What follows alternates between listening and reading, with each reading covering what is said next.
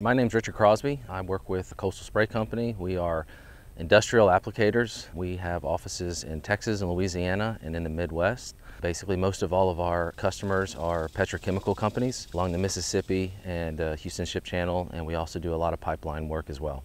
So about three years ago, we started investing in spray drones. We noticed in our business that there were a lot of areas that was very difficult to get to with conventional equipment.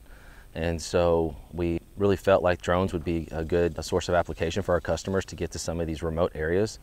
And as we got into these areas, we noticed that there were actually more areas that we could get to, such as pipeline right-of-ways that tend to just have big geographical difficult areas for tractors and just really conventional equipment to get to. And so the drones have really become uh, a really neat source of application to be able to get to these areas that uh, really would be almost remote or really difficult to get to.